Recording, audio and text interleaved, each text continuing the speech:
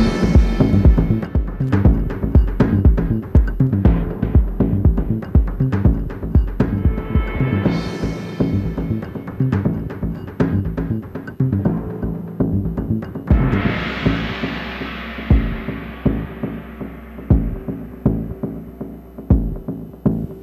Turismo Costa del Sol ha llevado a cabo una renovación de la mesa de trabajo de golf.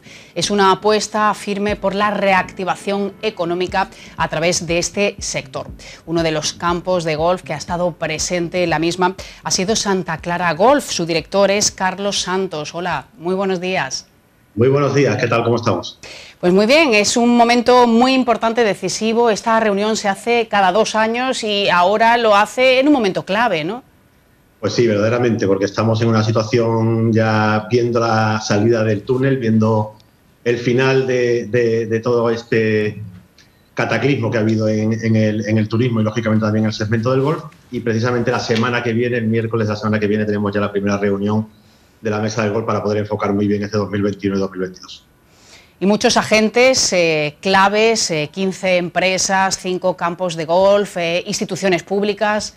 Sí, formamos parte de la mesa del golf, pues todos los segmentos, todas las empresas que están de alguna manera eh, relacionadas con el, con el segmento del golf. En concreto, pues campos de golf desde toda la zona de la Costa del Sol, desde Benalmádena, Fuengirola, bueno, Torre del Mar, Benalmádena, Fuengirola, Marbella, por supuesto, Casares, pues, mm, Estepona, y, y, ahí en cada, de cada lugar tenemos un representante y luego pues hoteles que también están integrados en el, en el turismo de golf, resorts específicos de golf, agencias de viaje y, por supuesto, turismo y planificación Costa del Sol, además de la IACTO, que es la, la Asociación Internacional de Turoperadores de Golf, y a través de su representante Marco Polacci, y, por supuesto, el Comité Comercial de Campos de la Real Federación Andaluza de Golf. Y entre todos, pues nos reunimos efectivamente y últimamente de manera virtual para poder ir detallando las, líneas de actuación y, qué es lo mejor para el segmento en este momento tan complicado que estamos pasando.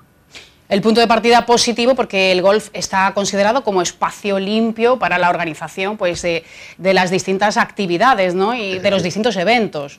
Efectivamente, no, no, no se ha detectado de momento, gracias a Dios, ningún contagio en campo de golf. No hay que olvidar que es un deporte que se practica no solo al aire libre, sino además en 50, una media de 50 hectáreas de, recorrido que tiene la cancha de, golf y por lo tanto siempre ha estado abierto durante todas las restricciones que ha habido de movilidad. El golf sí se ha, considerado un, deporte esencial y por lo tanto las instalaciones han podido seguir manteniéndose abiertas. Eh, no hay que olvidar que, bueno, yo estoy convencido, es el deporte más seguro que existe para poder practicarlo porque en el momento en el que más se pueden juntar eh, un jugador con otro es en el, tee de salida, donde se ponen ya para golpear la bola por primera vez, y los tees de salida tienen aproximadamente unos 150 metros cuadrados, con lo cual hay distancia suficiente para poder mantenerse separados unos de otros, ¿no? Con lo cual no hay ningún problema. El, golf es un deporte saludable, es un deporte que se practica al aire libre y es un deporte completamente seguro. Entonces, en ese sentido, pues efectivamente se han seguido celebrando competiciones, han seguido celebrando eh, distintos torneos y sobre todo se han podido seguir manteniendo un, buen número de puestos de trabajo, que al fin y al cabo es lo más importante que estamos ¿Qué esfuerzo, por tanto, han realizado los profesionales y los campos de golf para mantenerlos en perfecto estado? Bueno, pues muy grande, sobre todo al principio, cuando se decretó el, cierre total, el, lockdown total en, el mes de marzo eh, del año pasado, que estuvieron los campos cerrados prácticamente tres meses. Eh, el campo hay que seguir manteniendo los trabajadores seguían viniendo, una actividad esencial, lógicamente, puesto que el césped eh, necesita los mismos cuidados, eh, vengan clientes o no vengan clientes, vengan turistas o no vengan turistas. Eh, hay que seguir abonando, hay que seguir regando, hay que seguir cortando, hay que seguir mimando ese, campo de golf. ¿no? Fue una época muy dura, especialmente dura porque, porque bueno, eran empresas que no tenían absolutamente ningún ingreso, como tantas otras en España, desgraciadamente, y, sin embargo, pues había que seguir manteniendo un volumen de gastos importante. Pero bueno, eh, la luz se ve al final del túnel y, estamos convencidos de que este verano va a ser un verano eh, bastante positivo, va a ser mejor y, si Dios quiere el otoño, que es la temporada alta de golf, no lo olvidemos, los meses de septiembre, octubre, noviembre, podrían ser también unos muy buenos meses. ¿Cuáles son las reclamaciones más importantes eh, del sector? ¿Hay muchos profesionales todavía en, en ERTE? Hay profesionales todavía en ERTE, depende mucho los campos de golf. Como sabes, aquí en, en toda la zona de la Costa del Sol, no hay que olvidar que estamos en el principal destino de golf de Europa. Y esto es muy importante. Marbella es Marbella. O sea, Marbella no, no, no. En Europa el golf en Marbella es eh, muy requerido. La gente quiere venir aquí, los turistas que están deseando poder salir de sus países para poder recalar en nuestros campos de golf. Son unos campos de golf muy buenos y es verdad que todavía, debido a que el turismo no se ha reactivado al 100%, pues hay trabajadores que todavía siguen estando en ERTE, sobre todo en los campos de golf que dependen exclusivamente del turismo, los campos que son comerciales. Hay otros campos, campos de socios, campos sociales, que tienen una masa social importante, que mantienen bien el campo de golf con las cuotas de los socios y, ahí se nota quizá menos ¿no? el, recurso al ERTE, pero en los campos comerciales indudablemente sí se están teniendo uh, más problemas. Decía antes que se están desarrollando eventos, citas, torneos, eh, el horizonte puesto quizás a partir del año que viene. Hay un gran evento, pero todavía queda, 2023, ¿no? Sí, la Solheim Cup, eso es, es importantísimo. Eso va a ser, eso va a ser para, para, toda la Costa del Sol, para Marbella en particular, va a ser un, un, un, dato buenísimo. ¿eh? Eh, tenemos que saber aprovecharlo muy bien. De hecho, bueno, pues es un honor que, que, que Su Majestad la Reina, Doña Leticia, haya aceptado precisamente la presidencia de honor de de la Solheim Cup. Es el mayor torneo mundial de mujeres que se celebra en todo el mundo, tiene una repercusión en, mediática de 800 millones de televidentes en todo el mundo y Marbella va a estar ahí, es el, punto de unión. Es la primera vez que la Solheim, perdón, es la primera vez que la Solheim viene a, eh, España y, y en concreto a Marbella, con lo cual va a ser una cosa muy buena. Ya en el 97 se hizo la Ryder Cup en Valderrama y todos sabemos lo que supuso esa Ryder Cup para toda esta zona. Eh, fue el momento en el que la Costa del Sol empezó a denominarse Costa del Golf. Eh, es conocida ya mundialmente como Costa del Golf y eso es muy bueno para todos nosotros, para todo nuestro segmento indudablemente y para todo el turismo en general. Y, y el pistoletazo se dio con la Ryder Cup. La Solheim es la Ryder Cup en femenino, con lo cual puede suponer también para nosotros un, un, aldabonazo importantísimo una vez que finalice toda la crisis esta. Después de todos estos meses de pandemia, ¿la imagen del golf eh, sale reforzada? Sí, sin ninguna duda. Es que, es que no, hay, no hay que olvidar que, como te decía antes, el, el, golf es el deporte más seguro que hay. Además, precisamente por ser un deporte tremendamente seguro y sin, con escasísimas posibilidades de contagio por COVID, eh, se han aumentado muchísimo el número de licencias federativas de golf en el año 2020. En concreto, en Andalucía han crecido más de 1.200 las licencias eh, de jugadores de golf. Es un dato significativo, es un deporte que la gente está a gusto, está tranquila, pueden salir de casa, pueden practicarlo, pueden jugarlo, son cuatro o cinco horas en la naturaleza y sin ningún riesgo de contraer ningún tipo, eh, bueno, ese tipo de enfermedad ¿no? de, transmisión. Con lo cual, pues eh, ha habido un incremento de jugadores que, ha sido muy positivo para, para nuestro segmento. Hasta que llegue el otoño, supongo que la mirada muy centrada en el turista británico. A partir de mayo también se esclarece un poco cuál es el panorama y sobre todo muy pendientes de, de la vacunación en este verano, ¿no? Efectivamente, es que es muy importante que el ritmo de vacunación sea rápido, sea un ritmo de vacunación muy ágil. Esto lo estamos exigiendo de todos los sectores.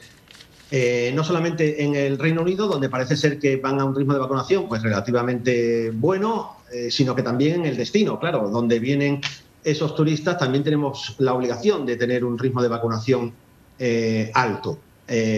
bueno, ayer ya se cumplió el récord de vacunación en España y, y bueno, eso nos hace ser indudablemente optimistas pero necesitamos para el verano que esos eh, 650.000 prácticamente asientos de avión que están ya previstos que vengan entre mayo y junio y julio de este año eh, desde el Reino Unido se cumplan y se llenen. Y para eso es muy importante que el ritmo de vacunación que tengamos en la Costa del Sol eh, sea también un ritmo de vacunación fuerte, alto y que dé seguridad al turista en el Reino Unido. Ojalá que sea así. La bajada del IVA ha sido uno de los caballos de batalla. Yo no sé si hay algún tipo de compromiso en ese sentido. Ha habido negociaciones, ha habido negociaciones desde la patronal, desde la COE, desde la, Asociación Española de Campos de Golf, desde la, propiedad de los campos de golf. eh, con el Ministerio, con, con la Secretaría de Estado de Hacienda y la Secretaría de Estado de Turismo también. Es incomprensible que a día de hoy todavía un segmento tan turístico como el golf siga teniendo un IVA del 21%. Es inexplicable. Si somos turismo, y lo somos, lo normal es que tengamos el IVA turístico, el 10%. Eh, eh, estamos convencidos de que sería importantísimo en estos momentos esa rebaja del IVA que al fin y al cabo a las arcas del Estado no les supondría prácticamente nada, puesto que es un IVA que pagan los extranjeros que vienen aquí. Los españoles no pagan IVA eh, cuando juegan al golf, la mayoría de ellos, no por nada, sino porque pertenecen a clubes de socios que son asociaciones deportivas que están exentas de, de IVA. Perdón. Con lo cual, estamos hablando de que el turista sería el que cargaría con ese peso del IVA. Eh, no supondría tanto para las arcas del Estado español y por eso seguimos y, pedimos a, las autoridades que sean conscientes de que si somos un segmento turístico, se nos aplique el IVA correspondiente, que es el 10%. Bueno, pues estaremos muy pendientes de los avances de esta mesa y los pasos que da el sector. Carlos Santos, gracias. Muchísimas gracias a vosotros. Buen día. Bueno, pues eh, se retoman las presentaciones de libros, eh, ya tocaba y ayer visitamos FNAC para conocer la obra de una enfermera, en este caso de Ana María Ruiz, que presentaba libros que salvan vidas.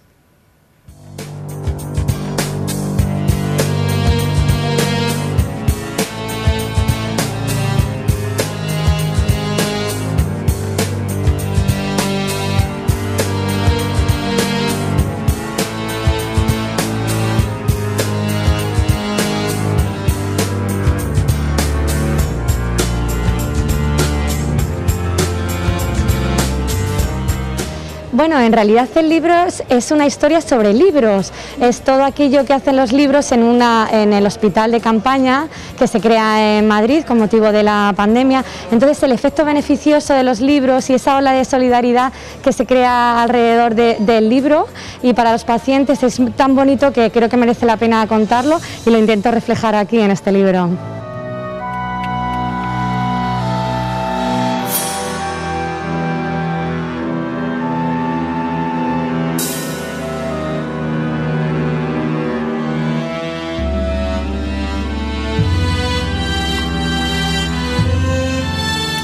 Que allí no había ningún otro entretenimiento, con lo cual este, eh, cuando empezaron a llegar los libros, pues dieron muchísima compañía a todos los pacientes, una compañía, también consuelo, dieron, dieron un refugio eh, a, los pacientes que estaban tan solos y tan enfermos. Entonces todas esas historias eh, sobre libros y cómo llegaron y cómo funcionó la gente, porque no solo fuimos los que estábamos en IFEMA, sino que muchísima gente de toda España mandó libros y también otro material material de lectura, como por ejemplo gafas para presbicia o incluso material de oficina para que ellos pudieran eh, con rotuladores hacer eh, crucigramas. Bueno, fue tan bonito que creo que merecía la pena contarlo y la verdad que el libro está teniendo muy buena acogida. Es Libros que salvan vidas cuenta la historia que, eh, que ocurrió allí en torno a los libros.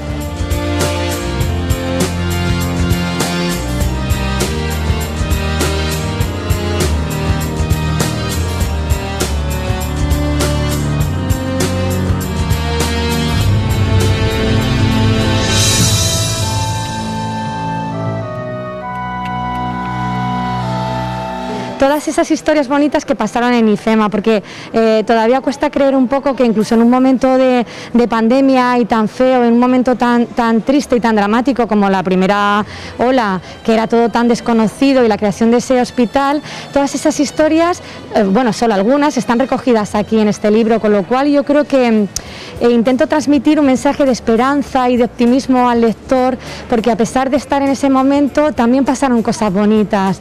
Y, y creo que eso también se contagia, ¿no? El contar cosas bonitas me parece que también es importante y genera bienestar en el, en el lector, con lo cual esa es mi intención y espero que llegue.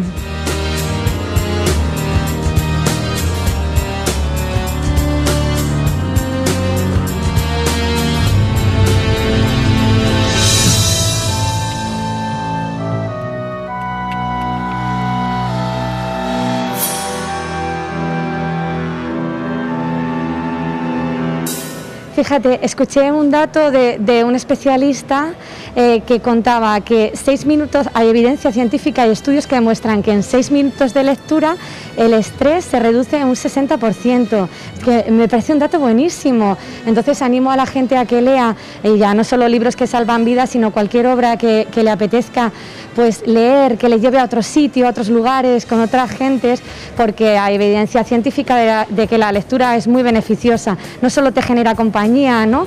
sino que también consuelo y te hace estar en el lugar de otros y, bueno, marcharte de ese lugar o ese momento que tú estás viviendo, con lo cual eh, es un refugio importante.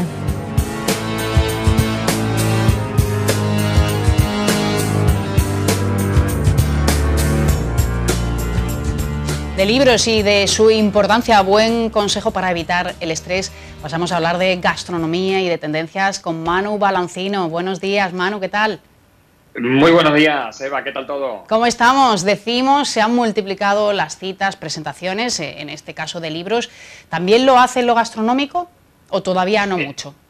Eh, bueno, en cuanto a los eventos, Eva, está, por así decirlo, y para ser optimista, a punto de arrancar, ¿no? Hay una feria que es a finales del mes de, abril, al final de este mes, que es la de hostelería y turismo, esa feria de HT que se celebra en el Palacio de Congreso de Málaga. Y bueno, viene a dar ese pistoletazo de salida a todas las ferias gastronómicas de la provincia de Málaga. Sí es cierto que esta feria se celebraba, eh, bueno, habitualmente en el mes de febrero, pero a consecuencia de todo esto sí que se ha derivado a este mes, así que eh, bueno, crucemos los dedos y seamos positivos a ver si vienen así, a ver si vuelven pues de toda esta feria gastronómica. Y Eva, aparte de esa feria gastronómica, sí que hemos cambiado mucho esos hábitos de consumo y hoy te voy a hablar de una cosa bastante interesante, las plataformas de comida a domicilio, sin duda y seguramente que muchos compañeros, nuestro compañero Manuel seguramente ha pedido a domicilio. ¿Tú, Eva, has pedido a domicilio durante todo este confinamiento? Bueno, Manuel y todos, vaya, porque se han disparado. Así es, Eva, se han disparado esas, esos pedidos a domicilio y ya sabes, hemos cocinado más, hemos cambiado nuestro hábito de consumo, de ahí queda patente ese, ese nuevo ese dato que le comentamos hace una semana, que el gasto en alimentación subió en torno al 25%, de ahí también las frutas y las verduras, porque estamos, eh, estamos inmersos como en una alimentación mucho más eh, saludable, pero sin duda lo que vamos a hablar hoy es de la de esta plataforma, de esta comida a domicilio. Te cuento porque el 56% de los españoles, según esta encuesta que hoy le vamos a contar, eh, Eva, el 56% de los españoles suelen pedir comida a domicilio. ¿Y eso qué quiere decir? Que, que, bueno, que levantan el teléfono, que lo piden a través de aplicaciones, pero lo muy curioso es que hemos cambiado, porque si hace algunos años o si hace algunos meses solo podíamos eh, contarle pues plataformas de comida a domicilio y de ahí esa comida pues se basaba pues en pizza o en hamburguesa, hoy Eva está mucho más refinado el sector. El sector ha cambiado y de ahí Eva que incluso el grupo Dani García eh, pues se ha sumado al carro de esos eh, reparto a domicilio con la gran familia mediterránea o diferentes propuestas, incluso en Madrid, en Barcelona, eh, así que comer de alta cocina es eh, posible en casa. Eso sí, no es eh, equiparable con esas comidas en un restaurante, pero lo cierto es que nos vienen a sacar de un buen apuro. Pero hemos dado un salto de nivel abismal y eso que muchos eh, cocineros eh, no son muy pro del delivery porque al final no llegan las mismas condiciones y no lo puedes disfrutar de la misma manera, ¿no? Bueno, lo han intentado, pero evidentemente el resultado no es el mismo. Me llama mucho la atención el aumento del 25% en el gasto de alimentación. No sé si antes nos alimentábamos muy mal o ahora lo estamos dando todo. Eh, bueno, al final, Iván, lo que hemos cambiado, hemos, eh, bueno, pues no eh, bueno, todo esto nos ha hecho pasar más tiempo en casa. Eso significa que hemos, hemos bueno, gastado menos en, ese, en esos comercios, en esa hostelería, en ese sector oreca de hostelería, cafetería y restaurante, por lo que todo esto se deriva a que el, bueno, a que hemos ido mucho más al supermercado y a consecuencia de ello ha subido el gasto. ¿Qué ha pasado? Que a lo largo de toda esta pandemia también nos hemos cansado de cocinar en casa y de ahí que ha surgido pues todos estos nuevos restaurantes que se han sumado al carro de esas comidas a domicilio y con ese dato que le apuntamos que el 56% de la población ha pedido comida a domicilio. Pero sobre todo nos preguntamos, ¿y cómo lo hacen, Eva? ¿Y cómo lo hacen? Mira, pues te cuento, muchos recurren a, plataformas, a esas plataformas de comida a domicilio tan común y tan usuales que si ahora bajamos de nuestro de nuestro estudio, pues eh, en esa calle, ya Ricardo Soriano vamos a ver muchísimas motos pasar, algunas amarillas, otras verdes. ¿Eso qué significa? Que unas pueden ser de Yacid, que en torno al 51% eh, la gente pide a, esa a través de esa aplicación, otros piden a esa hamburguesería tan tradicional como puede ser en Burger King, en torno al 49%, y hay otras, la, la, famosa amarilla, que es esa de Globo con el 36%, o incluso Pizza. Lo que es muy relevante, Eva, que te cuento, que aquí hay un fan de las hamburguesas y todo el mundo se deriva a esas hamburguesas de Burger King frente a ese delivery de McDonald's. Algo que realmente pues, eh, es bastante curioso porque sin duda, bueno, muchos eh, nos decantamos por unas aplicaciones y otros por otras. Hay unos que nos decantamos más por hamburguesas que por otros productos. Sí, pero aquí hay mucha diferencia. ¿Por qué crees que ya sí se lleva la palma? Bueno, sobre todo, Eva, porque ahí tenemos eh, inmerso todo el conjunto de las aplicaciones. ¿Eso qué significa? Que muchas veces si queremos comer eh, comida asiática o si queremos recurrir a esa comida de corte español, lo bueno que tenemos es que esta aplicación nos permite, pues, de manera práctica y sencilla, saber los comercios adheridos, los comercios de Marbella adheridos a esta plataforma. E, eso sí, también viene a poner patente, viene a poner fe estas aplicaciones que son sencillas. Una vez que ya hayas incorporado tu tarjeta de crédito, no deberás de incorporarla nunca más, incluso tu dirección de tu casa por tanto, nos dan eh, muchas alternativas. Asimismo, Eva, incluso plataformas como Uber Eats, pues cada semana pues recibes diferentes descuentos, así que la gente pues tira más de estas aplicaciones que tienen descuentos que un poco a golpe de teléfono y recurre pues a ese bar conocido, pues le cuesta menos pues esas aplicaciones que levantar el teléfono y a consecuencia de ello, pues tiene muchas ofertas. Así que cuanto más compra, esto es como todo, cuanto más compra, pues más descuentos, pero seamos cautos a la hora de las compras. Claro, o sea, aquí de comida no pasa nada, pero si lo hacemos, por ejemplo, de otros productos, pues tenemos que ser cautos. Pero fíjate, nos daba la sensación de que ahora que podemos salir a comer, a restaurantes, pasear, iba a descender el consumo de comida a domicilio y se estima que para 2021 se alcanzarán los 1.105 millones de euros. Sí, eh, es, una, es una, una, cifra que sigue subiendo. Sí es cierto que según datos que hemos podido contrastar, eh, Eva, con, con, varios compañeros, sí es cierto que esta época ha bajado un poco, ha descendido eso, ese consumo de, de la comida a, a domicilio. Por tanto, pueden ser que esos datos a, final de año pues se vean algo modificados. Sí es cierto que nos hemos acostumbrado a un nuevo concepto, a un nuevo concepto que cada vez llega mejor a, casa, incluso hemos podido ver, eh, bueno, hemos podido ver, incluso eh, tocar, ¿no? Que, el packaging que llega cada vez más sofisticado, cada vez más la hamburguesa te llega en perfecto estado, o esa patata frita pues no llegan de caída, sino que llegan bien fritas. Bueno, todo el mundo se ha ido perfeccionando y, lo que viene a dejar, bueno, pues a consecuencia de todo esto, lo que sí está claro, Eva, que el hostelero tiene un nuevo concepto de mercado, más allá de poder eh, ofrecer desayuno, almuerzo, merienda y cena, sí que tiene una nueva línea de mercado derivada de esta comida a, domicilio, que al final, pues en vez de ofrecer pues cuatro alternativas, pues puede ofrecer cinco alternativas de una manera pues mucho más eficiente a través de esas plataformas de comida a domicilio. Y también se va un poco la restauración a, hacerlo ellos mismos, sin intermediarios, eh, porque bueno, al final sale muy caro utilizar este tipo de plataforma para los restaurantes, se dejan pues mucho dinero en el camino. Efectivamente, son prácticas a, la hora del consumidor final puesto que le va a quitar trabajo y asimismo lo que le va a quitar, pues, eh, bueno, complicaciones de, a la hora de levantar el teléfono o de poner dirección o de poner cada vez eh, en la tarjeta de crédito. Sí es cierto que, muchas, eh, que muchas, eh, muchos restaurantes, muchas comidas a domicilio, cuando lleguen a tu casa casi que te dan una tarjeta de fidelización y te dicen que, que por favor, que la próxima vez en vez de llamar a estas plataformas, pues recurras directamente a ellos a través de un teléfono más directo y que incluso te van a dar un descuento. ¿Por qué? Porque esta plataforma cobran, cobran pues pues bastante, por así decirlo, a estos comercios, eh, puesto que eh, les conviene que sean más directos. Sí es cierto que esta plataforma al final eh, pues son complementarias porque bueno pues al final no solo es levantar el teléfono sino que muchas pues hacen ese pick up eso que quiere decir que van al restaurante recogen el pedido y te lo llevan a tu casa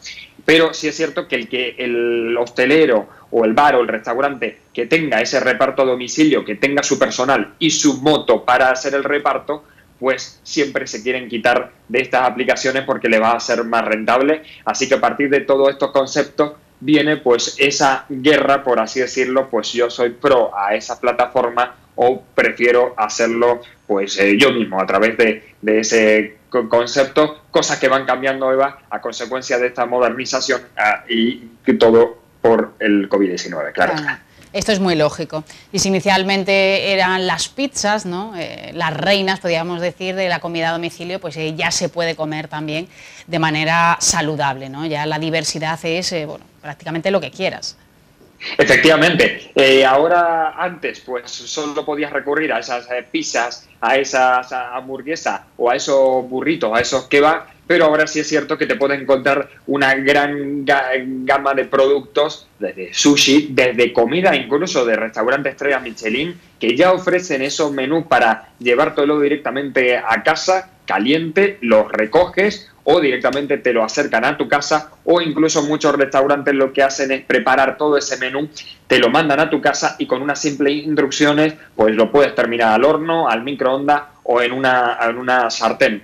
Bueno, pues cosas que van cambiando, pero que sin duda nosotros somos muchos de ir al restaurante, somos muchos de ese contacto más bien de bueno de, ese abrazo, de esos besos. Por tanto, yo creo que, irá decayendo un poquito esa comida a, domicilio y lo que tendremos que hacer es salir más, pero bueno, ahora hay que hacerlo con cautela y siempre pues siguiendo todas esas indicaciones que nos dicen pues todos los medios de comunicación. Bueno, será muy buena señal, querrá decir que ya vamos por el buen camino. Manu, gracias. Hasta el próximo miércoles. Hoy, ah. hoy es jueves, pero nos vemos el próximo miércoles, como de costumbre. Hasta la semana que viene. Nosotros nos marchamos ahora unos minutos a publicidad, una pausa breve y enseguida volvemos.